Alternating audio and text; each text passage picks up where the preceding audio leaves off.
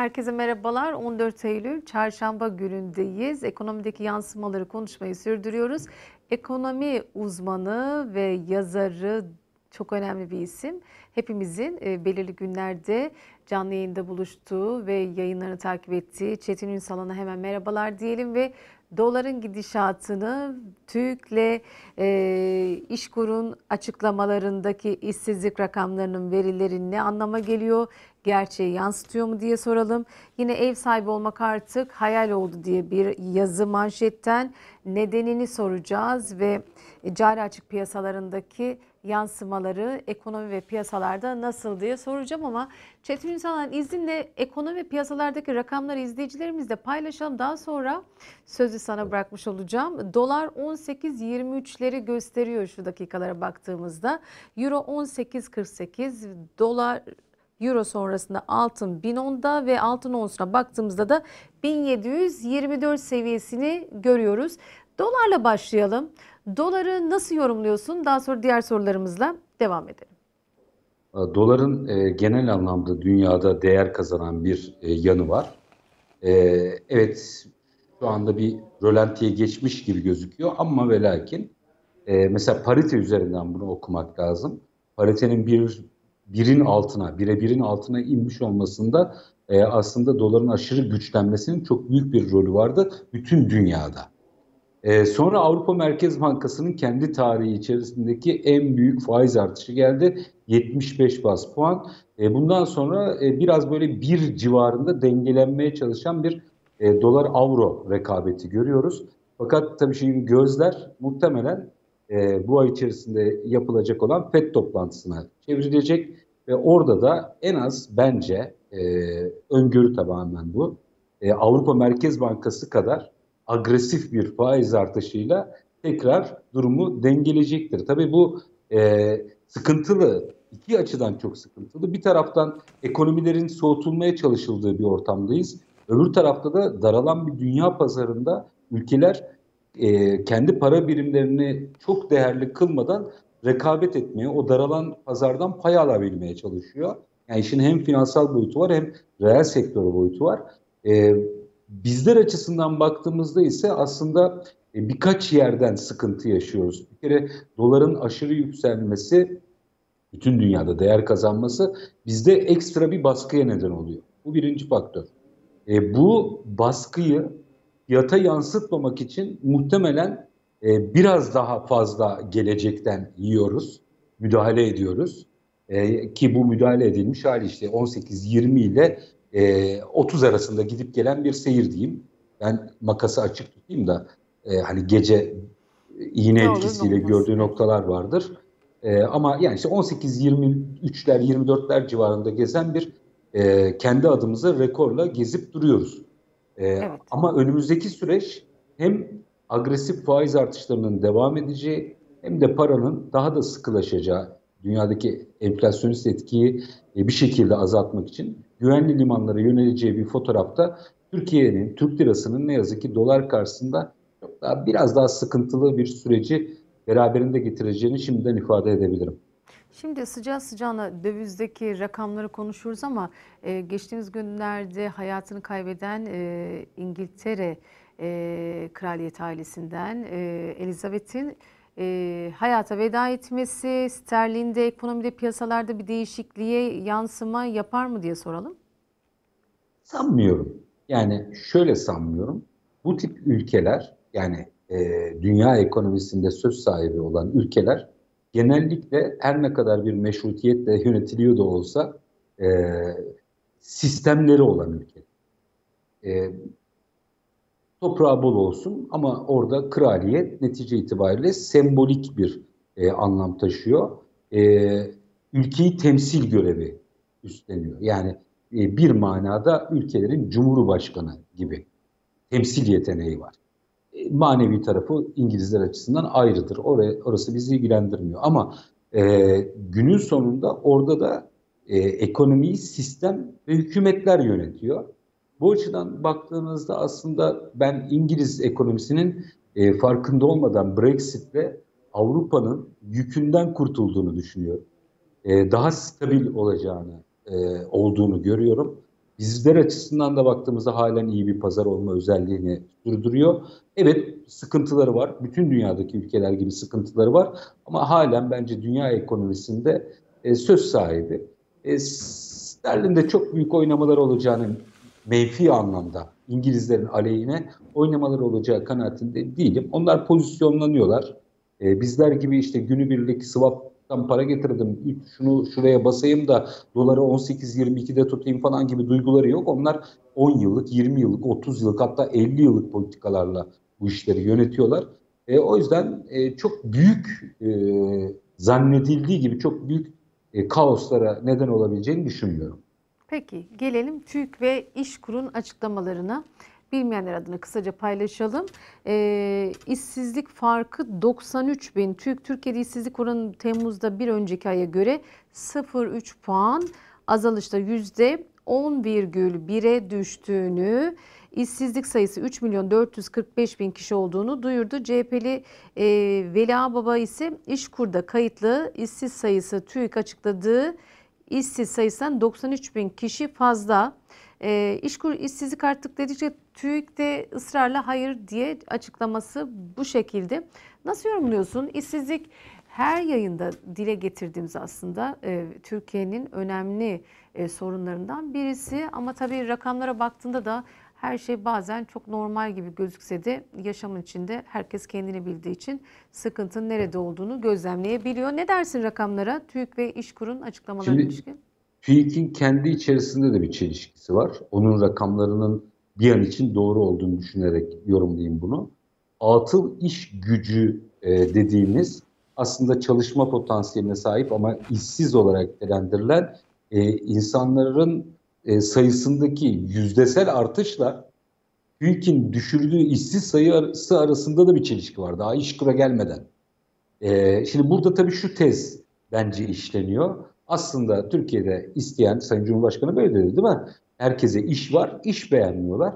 Bu sanki bunu kanıtlamak için yapılmış bir şey. İkisi de gerçeği yansıtmıyor. Yani ne atıl iş gücü yansıtıyor çok daha yukarılarda ne de işsizlik. TÜİK ve İşkur ilişkisine gelince burada da mesela Sayın Veli Ağababa'nın yorumunda da rakamlar üzerinden gittiği için kendi içinde doğruluk payı var. Ama e, ıskalanmaması gereken bir yan var. Çünkü onda da sapma payı çok yüksek. Çünkü İşkur'a göre 93 bin kişi daha fazla işsiz demek olayı küçümsemek demek. Küçümsediği için değil. E, Sayın Ağababa'nın nezdinde söylemiyorum bunu. Meseleyi böyle kabullenmek sanki TÜİK verisi doğruymuş da işkur verisi de doğruymuş da 93 bin fark varmış gibi bir algı çıkıyor. Şimdi hep herkes kendi çevresinden hatta kendinden bunun sağlamasını yapsın. Kaç kişi işsiz kaldığında işkura başvuruyor? İşkura başvuranlar sadece TÜİK'in rakamına göre 93 bin kişilik bir fark oluşturuyor. Oysa milyonlarca insanın, işsizin işkura dahi başvurmadığını biliyoruz. Yani özellikle belli sektörlerde işte iş arayışları iş ilanlarla, siteleriyle vesaire falan devam ederken işkura nispeten daha standart işlerde e, çalışma arzusu olan ve bu konuda da iş bulamadığı için bir de iş kurda şansımı deneyeyim diyerek giden insanlardan oluşan bir yapı var.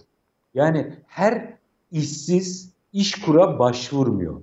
Hatta işsizlerin çok küçük bir bölümü iş kura başvuruyor. O yüzden e, ne yüzde 10,1 işsizliği yansıtıyor ne de iş kurun bu kadar kişi bize başvurdu e, ifadesi gerçek bir işsizliği tanımlıyor. Türkiye'de çok ciddi oranda bir işsizlik var. E, sadece gençlerin içerisinde bırakın genç işsizliğini %20-22'ler diliminde ne çalışma hayatında ne iş hayatında olmayan bir kesim var.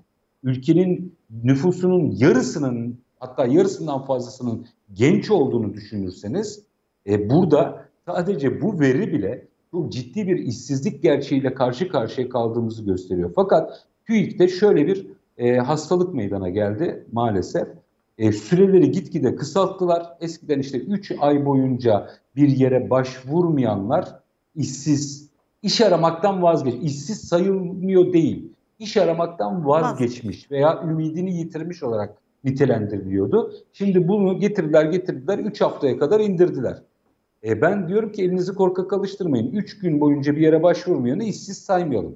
Ama bütün bunlar o kişilerin işsiz olduğunu ve işsizlikten kaynaklanan travmaları hem kişisel e, ekonomik hayatlarında hem de toplumsal hayatta yaşamadıkları anlamına gelmiyor. Türkiye'nin mutlaka işsizlik gerçeğiyle yüzleşip buna yönelik çözümler bulması gerekiyor. Diğeri sadece bir istatistik. Üstelik çarpıtılmış bir istatistik. Evet. Bunu çok net söyleyebilirim. E, zaten e, birçok e, eş dostla da konuşulduğu zaman İşkur'a gitsem ne kadar bana artı dönüş olacak ki diye cümleleri duyuyoruz. Dediğin gibi e, o yansıyan rakamın birçok üzerindeki rakamda e, güven ve kaygısı olduğu için bir şey çıkmayacağını düşünerekten kendi başının çaresine bakmaya çalışıyor. Peki gelelim ev sahibi olmak e, hayal mi, gerçek mi, ne yapacağız diye hep konuşurken artık Türk filmini izlerken e, o geçmişteki e, Adile Naşit, Kemal Sunal'dan, Şener Şen'den tutun da e, mizansel alana kadar artık böyle herkes kendi haline gülmeye başladı. Öncesinde emekli olduktan sonra e, kendine göre hayal dünyası vardı insanların. Ev alırım, araba alırım ya da köyüme yerleşirim. Kendime göre bir e, oda varsa iki oda daha yaparım, daha rahat yaşarım diye köy yaşamını seçenler adına da. Şimdi e, gelen rakamlar maliyet %114,74 arttı diye TÜİK Temmuz ayına ilişkin inşaat maliyetlerine ilişkin rakamını yansıttı. Peki ev sahibi olmak artık hayal bile olmayacak mı diye soralım. Bir tık öteye götüreyim. Ev sahibi olmayı bırakın kiracı olmak bile hayal olmaya başladı ülkede. Yani öyle bir kira, kira fiyatlarıyla muhatap oluyor ki insanlar. E, evet neredeyse kira öder gibi ev sahibi olmak mümkün. Neredeyse. Ama o kirayı kim ödeyebilecek? Anlatabiliyor muyum? Yani bırakın ev sahibi olmayı kiracı olmaya çalışıyor insanlar e, çok anormal. Tabii şimdi kira fiyatlarının bu kadar yükseldiği bir ortamda ev fiyatları da yükseliyor. Şimdi, e, yeni bir paket, işte gençlere öncelik verilecek, emeklilere öncelik verilecek. E, kriter olarak da e, 14-16 bin lira diliminde geliri olanlardan azları e, dile getirilmiş. Yani 240 ay vadeyle kaç lira ödeyebilirsiniz ki? Yani mesela atıyorum 8-9 e, bin liralara gelen taksitler, 6 bin liralara gelen taksitlerden bahsediyoruz. Ee, kaç kişi bu rakamları elde edebiliyor ki? Türkiye'de iki kişiden biri asgari ücretle çalışıyor. Çok büyük bir bölüm yevmiye usulü çalıştığı için asgari ücretin de altında gelir seviyesinde. Emekliler asgari ücretin neredeyse yarısı kadar e, minimumda e, emekli maaşı alıyorlar. İşsizleri zaten saymıyorum. E, çalışan çok ve para kazanabilen çok az bir grup var. Bugün e, yoksulluk sınırı yani aslında bizim daha net bildiğimiz fakirlik sınırı 22-23 bin liralara dayanıyor. Şimdi siz bir sosyal konut projesi açıklıyorsunuz. Sosyal konut projesi içerisinde bir eve giren maaşın üçte birinden yani o toplam gelirin üçte birinden geçmeyecek taksitlerden bahsediyorsunuz. Ben size şunu söyleyeyim o zaman düz bir hesap yapayım. TÜİK'in verilerine göre Türkiye'de hane e, ortalaması eskisi gibi 4 kişi değil. 3,3 kişi. 3,3 kişi 1,3'ü kesin çocuktur. İkisi yetişkin diyelim. Çok şanslılar. Çok şanslılar. İkisi de iş buldu diyelim. Türkiye'de iki kişiden biri asgari ücretle çalıştığına göre 6500 lira e, diyelim bir tanesinin e, çok özür dilerim 5500 lira bir tanesinin ücreti var. Onu da koyduk. Diğeri de biraz daha fazla para kazanıyor 8 bin. Yani toplamda 12-13 bin lira haneye rakamla ev giriyor. 9-10 şey, olsun. Evet giriyor. 10 olsun. Ee, ne, 12 diyeyim bak. 12, evet, yuvarlayacağım evet. da o yüzden. Evet evet. Şimdi 4 bin liraya 240 ay vadeyle ev aldığınızda ortaya çıkacak rakam 4 bin lira taksit değil mi? 3 e, kişiden yani üçte birini geçmeyecek ya haneye giren paranın. 12 bin liranın üçte biri 4 bin lira yapıyor. 4 bin lira ile 240'ı çarpın o fiyata ev buluyorsanız alın zaten. Öyle bir ev fiyatı yok ki. Hayal dünyasında yaşıyorlar. Bir de bugün manşetlerde de gördüm. Şimdi eğitim eğitim diyoruz ve, ve çocukluktan yetişkine kadar e, bireylerin en iyi şekilde kendini yetiştirmesi için eş, dost, herkes birbirine burs var mı diye konuşuyor. Ya. Sabah e, haberleri e, doğal olarak toplantıda e, dile getirdiğimizde eğitim öğretim yılı da açıldı. E, oradaki e, genç arkadaşların e, ne kadar sıkıntı çektiğini ve yurttaki maliyetlerin bile ne kadar yüksek olduğunu bir odanın içinde 10-12 kişinin e, kaldığına dair haberleri okuyunca ister istemez e, üzülüyorsun. Diyorsun ki geleceğimiz gençler şimdiden kaygılanırsa tabii ki de ülkemiz çok zengin, yatırımlar anlamında çok çok açık ama e, dıştan yatırım gelmiyor, e, fiyatlar artıyor. E, öğrenci kendini kurtarması için en iyi eğitimi almak istiyor. E, çoğunlukla İstanbul dışından İstanbul'un taşı toprağı altın diyoruz ya. İstanbul'a geldiğinde de gerçeklerle yüzleşince e, ister istemez e, ne olacak sonrası diye düşünmüyor değil. Birçok gençle de konuşuyoruz. E, konuşuyorsundur da e, kaygılar dile geliyor. Ev almayı düşünemiyor yani. Onu anlatmaya çalışıyor gençler. Valla bakan kuruma bakarsanız düşünüyormuş. Evet. Mehmet Ali kardeşinizi örnek alın diye bir e, video paylaştı biliyorsunuz. E, bu Ankara'da 4. sınıf tıp öğrencisi. E, bu arada Mehmet Ali kardeşimizi ayırıyorum. Onun imkanı vardır, almıştır İstisnadır. vesaire. Onda bir sıkıntı yok. Ama şimdi kira ödemek yerine ev aldım dediğinizde, dediğiniz noktada e, işin rengi değişiyor. Ben o konuyu mercek altına aldım sevgili Gülay Tuncay. Evet. E, aşağı yukarı e, söz konusu arkadaşımızın okuluna yakın bir yerde yani ifadelerinden onu anlıyorum. Hı hı. E, üçüncü etap TOKİ konutları var. Çok iyi konu. Baktım. 8 Eylül 2022 itibariyle 3 oda 1 salon evinin kirası 3950 lira. 4. 3950, 4000 lira diyelim. Ee, 4000 liradan 6 sene okusa aşağı yukarı aşağı yukarı 250 ile 280 bin lira arasında değişen bir ev maliyeti var, kira maliyeti var. Bak, bakın tek kişi yaşıyor. Hiçbir öğrenci evinde tek kişi yaşamaz. 3 kişi yaşasa aşağı yukarı kişi başına 6 sene boyunca okuyan bir öğrenciye ev kirasının maliyeti 95 bin lirayı buluyor. Hadi tek yaşadı e, 300 bin lira diyeyim. Biraz da rakamı büyüteyim. 300 bin lira maliyeti var. Yine aynı yerde 3. etap TOKİ konutlarında 8 Eylül 2022 tarihi itibariyle 3 oda 1 salon ev fiyatı neymiş diye baktım. 1 milyon 100 bin lira. Şimdi kişisel tasarrufunu bir kenara koyuyorum. Ankara'da yaşamak istiyordur, ev sahibi olmak istemiştir. Ona bir şey diyemem. Ama bunu örnek göstererek yurt kirasının 4 yurt parasının 400 liradan 800 liraya yükselmesinin bütün evlerde bir e, yaz haline dönüştüğü bir ortamda Mehmet Ali kardeşinize örnek alın. Kira ödemek yerine ev sahibi olun denilen rakam bu. Tek başına otursa evin 6 yılda ödeyeceği kira ortalama aldım. Daha ucuz daha fazla. Ortalama aldım 280 bin lira. Evin bugünkü değeri 1 milyon 100 bin lira. Bu kira ödemek gibi şey, ev sahibi yani kira öder gibi ev sahibi olabilmeye çok olanak sağlamayan rakamlar. Evet. Şimdi siz diyorum ya 400 liralık yurt parası 800 lira oldu diye bugün evlerde eyvah noktası yaşanıyor. Siz bununla ilgili bir şey, bir çare üretmek yerine bakanlık olarak bak Mehmet Ali kardeşinize örnek alın. O kira ödemek yerine ev sahibi oldu diyor. 6 yılda ödeyeceği paradan neredeyse 900 bin lira fazla e, ev almaktan bahsediyorlar. Nerede yaşıyorlar bilmiyorum. Ama sokakta böyle bir dünya yok.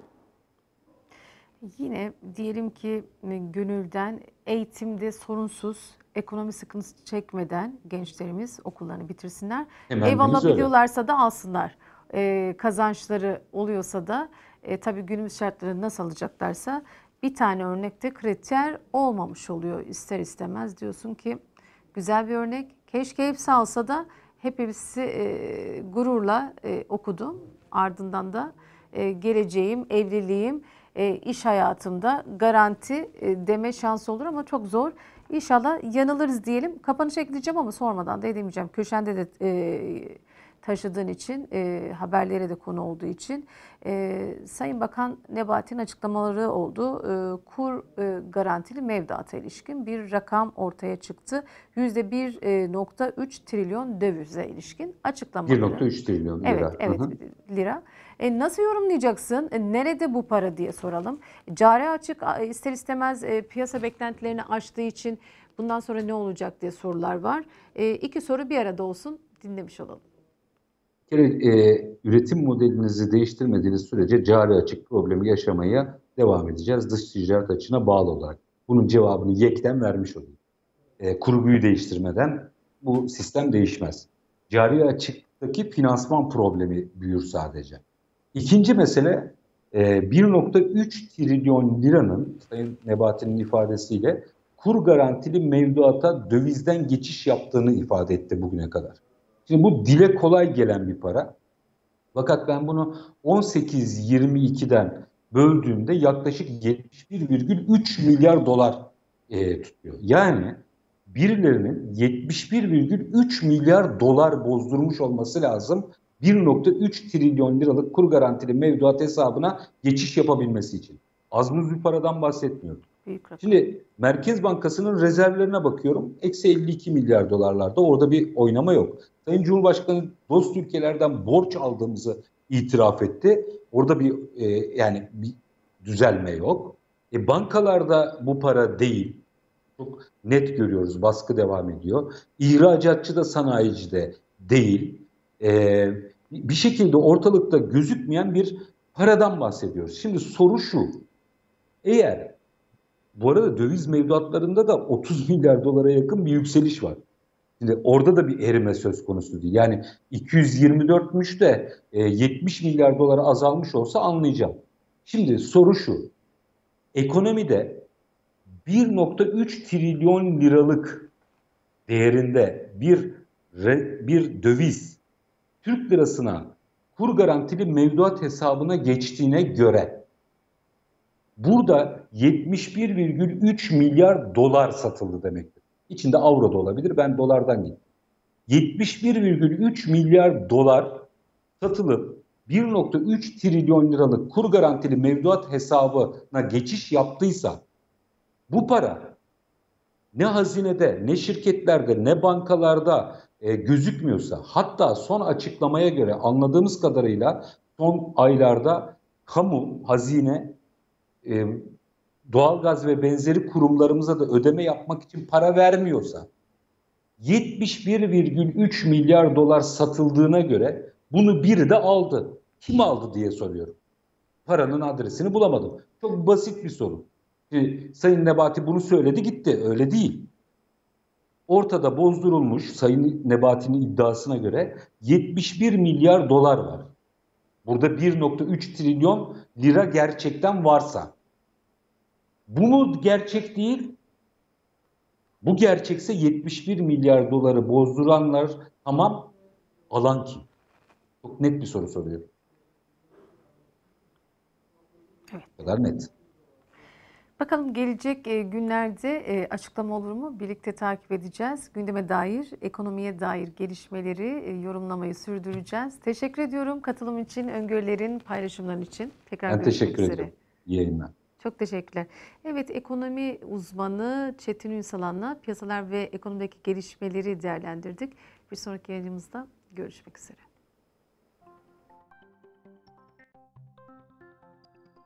Müzik